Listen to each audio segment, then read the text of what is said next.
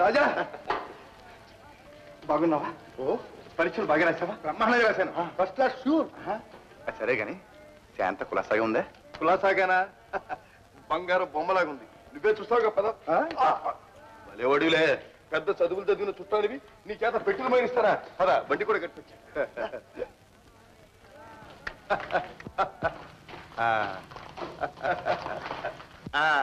దిగవయ్యా రఘు. అమ్మా శాంత. ఏది పెట్టి? రఘవయ్య కాళ్ళు కడుక్కుంది లోపలికి వెళ్ళడానికి వీల్లేదు. అమ్మా శాంత కాళ్ళు కడుక్కోవడానికి నీతే అమ్మా.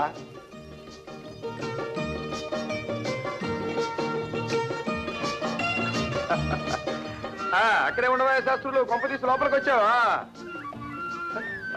అదేమిటమ్మా అక్కడ నిలబడిపోయావు?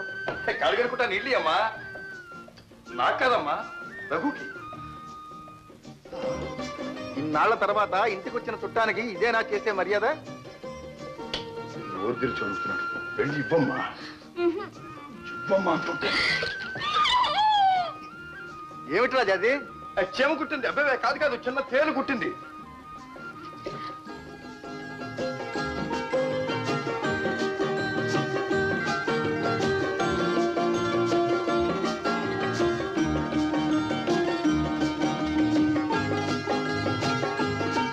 అలా చిరునవ్వుతో స్వాగతం చెబుతూ ఇవ్వాలి.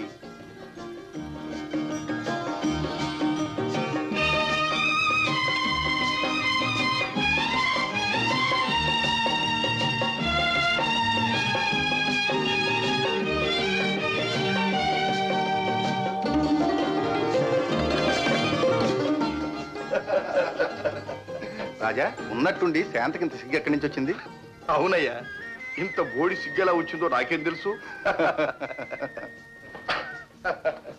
ఆ, కూర్చోవయ్యా. అమ్మా శాంత చుట్టూ వస్తానా నీళ్ళు పెట్టు. పెట్టేశాను. సబ్బెట్టు పెట్టేశాను. ఆ, తుడుచుకోవడానికి టవల్ పెట్టమ్మా. పెట్టేశాను. అన్ని పెట్టేసింది. తర్వాత? తర్వాత ఆయన వండి పెట్టడం మనం తిని పెట్టడం పల్లవయ్య బాబు కడుపు కాలుతోంది. అందరం కూర్చొని భోజేద్దాం పదా తప్పురా వెళ్ళు. ఆ.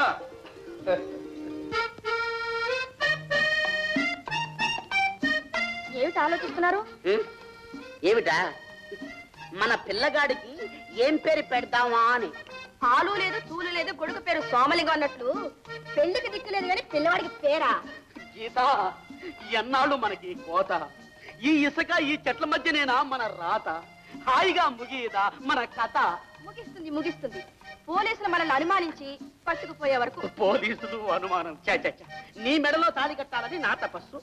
నా చేతికి బేడీలు బిగించాలని నీ తపస్సు నా తపస్సు నా తపస్సు నీ తపస్సు. మీ తపస్సు ఫలించాలంటే ముందు మా అక్కయ్య పెళ్ళి జరగాలి.